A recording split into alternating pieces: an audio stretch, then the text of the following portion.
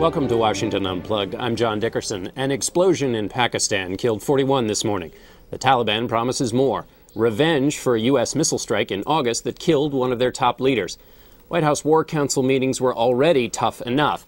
How does this affect the president's search for military policy in the region? To discuss the latest, I'm joined by CBS News Washington Bureau Chief Chris Isham and Vanity Fair columnist Christopher Hitchens. Chris Isham, I want to start with you. Four attacks in a week. What's going on in Pakistan? Well, well, clearly this shows that the Taliban have a, a, quite a substantial capability in the ability to mount these major suicide attacks and bombings uh, throughout the country. Uh, it's a real message that they're trying to send to the government uh, not only for retaliation, as you mentioned, but also uh, I think they are trying to send a message in advance of an anticipated attack that the Pakistani army is planning in South Waziristan, which is the real the, the, the headquarters of many of the foreign fighters like Al Qaeda and for uh, the hardcore of the Taliban. So they're, they're trying to prevent that, I think, in a way of, uh, uh, as this is kind of a shot across the bow, letting Pakistan know what they're capable of, that they can they, they can cause mass casualties and many many deaths in these kinds of attacks. Uh, and uh, we'll see whether uh, whether this causes the Pakistani government or the Pakistani people to to take another uh, look at whether or not they should be going forward into the uh, into the tribal areas. Christopher, assess that for me. The people and the military, how fragile are they to this kind of onslaught by the Taliban? Well, you'll note also that this is the week where the Pakistani authorities and media are complaining bitterly that Congress is trying to attach any riders or conditions to the really very generous amounts of aid that we have been giving them more or less unchecked for a very long time. I call your attention to the fact that the the um, Taliban or whatever this collective name um, for the Islamic uh, fundamentalists is going to be, managed to get inside the Pakistani military HQ. I mean, not, not all of your viewers maybe know what Rawalpindi means. I mean, it's like, it would be like uh, saying they got inside West Point or Sandhurst. And remember, it was inside this same place, the Pakistanis' military elite HQ, that uh, Khalid Sheikh Mohammed was actually found hiding in the house of an officer. So we have every right, I think, to ask the question of what's really happening to our, our aid money and to the political alliance that goes with it. In other words, are the Pakistanis really sincere about doing this, or are they only doing the minimum? Right. Uh, Chris Isham, I want to switch to Afghanistan, which is the big question on the plate for the president. You've talked to the administration. Um, give us what they're saying and also how this might play into the president's deliberations on Afghanistan. Well, I think the uh, the impression I'm getting, and this is still very fluid, and they're still uh, they're still involved in these series of very high-level meetings involving the president, National Security Council, his top advisors, uh, and uh, they, they had they had uh, one last week. At the end of last week, uh, expect they'll have another one or two this week.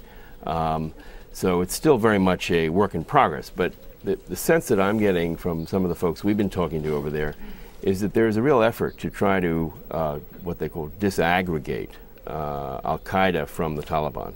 That uh, they want to make it clear that there are that there are two different networks and two different organizations requiring different tools uh, to approach them.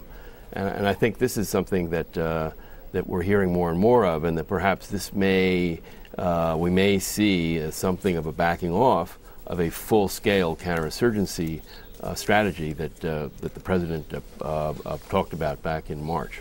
What do you make of that, Christopher? This, this attempt to separate the Taliban and Al Qaeda? Well, it's an old story. We've been when the Taliban were in power in Afghanistan, even before uh, the attack on our civil society in September of 2001. We kept saying, "Would you mind giving up Mr. Bin Laden or moving him out of there?" Um, and they wouldn't do it then, and they wouldn't do it after 2001, which is why we removed them. I'm myself a bit sceptical there is, of course, a difference, but I'm not sure how much of a distinction there is to be made between the two of them. The one is certainly the environment for the other. Ideologically, they're quite similar. And in any case, if the Taliban was to take over any part of any country, that, that region or that country would itself immediately become a failed state, as well as a rogue one. Uh, often the failed state is the precondition for the roguery. Mm-hmm. So we'd be back to the same generation of the same phenomenon, um, albeit uh, in a different form. In your assessment, Christopher, of Afghanistan, there the other argument, you know, John McCain said if, if the president doesn't accept this troop increase, it will be a mistake of historic proportions.